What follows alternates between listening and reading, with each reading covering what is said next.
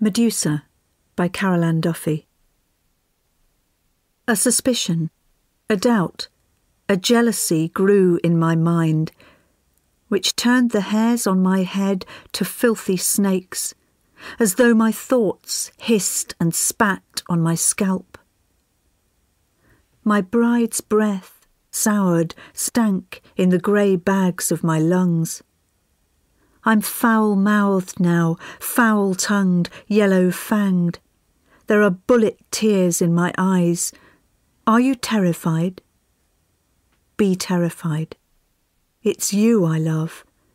Perfect man, Greek god, my own. But I know you'll go, betray me, stray from home.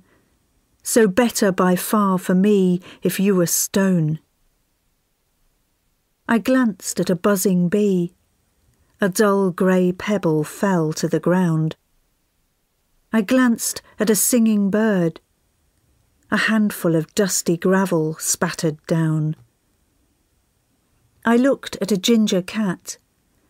A house brick shattered a bowl of milk. I looked at a snuffling pig. A boulder rolled in a heap of shit. I stared in the mirror. Love gone bad showed me a gorgon. I stared at a dragon. Fire spewed from the mouth of a mountain. And here you come, with a shield for a heart and a sword for a tongue, and your girls, your girls. Wasn't I beautiful?